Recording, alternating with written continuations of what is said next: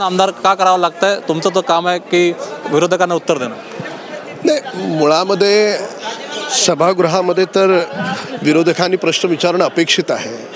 पण विरोधक सभागृहात प्रश्न उपस्थित करण्याच्या ऐवजी कशा पद्धतीनं महाराष्ट्राच्या जनतेची दिशाभूल करतात आपण पाहतो.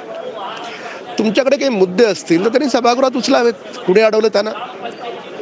पण आम्ही मात्र सभागृहामध्ये देखील त्यांना उघडं पाडतो आहोत. आणि सभागृहाच्या बाहेर देखील आम्ही शांततामय मार्गानं त्यांना उघडं पाडण्याचं काम करतो.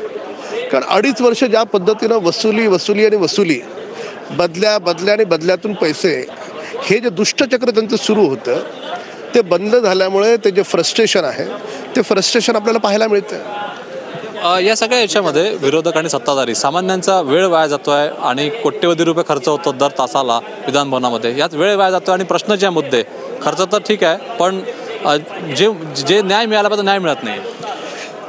महाराष्ट्राच्या जनतेला पूर्ण विश्वास आहे की माननीय शिंदेसाहेब आणि फडणवीस साहेबांची जोडी ही वीस वीस तास काम करणारी जोडी आहे.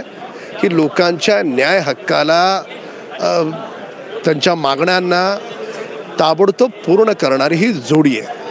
तर त्याच्यामुळे हे काही श्रीमान उद्धव ठाकरेंच्या सरकारने की जे एअर कंडिशन बंगल्यात बसून राहत होतं तर त्याच्यामुळे सभागृहात देखील त्यांच्या न्याय हक हक्कांना योग्य तो न्याय आणि सभागृहाच्या बाहेर देखील योग्य तो न्याय अशा पद्धतीची भूमिका या ठिकाणी विरोधक आणि सत्ताधारी हे असं क्वचित होतं की विरोधक आणि सत्ताधारी दोन्हीकडून आंदोलन जे आहे ते केलं जातं